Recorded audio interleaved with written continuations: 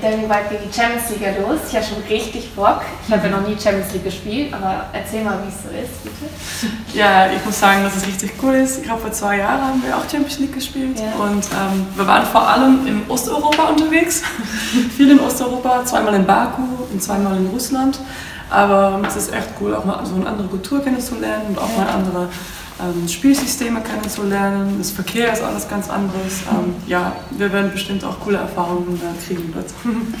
Und was war dein schönstes Erlebnis?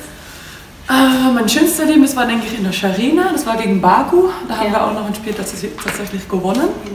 Ja, das war richtig cool. Es gab viele Fans und ähm, es war auch eine sehr gute Mannschaft Baku damals. Ja. So, da waren wir richtig stolz, dass wir mal gewonnen haben. Ja. Voll cool. Ja. Und was war dein witzigstes? Ist noch mal was richtig Witziges passiert? Oder? Ähm, naja, richtig witzig. Wir mussten mal auf dem Flughafen in Kasan äh, übernachten. Oh da gab es so ein ja. ähm, Spielecke für Kinder, da haben wir versucht drauf zu schlafen, aber da sind die Polizeimänner vom Flughafen ganz, ganz, ganz böse geworden und haben uns weggeschickt.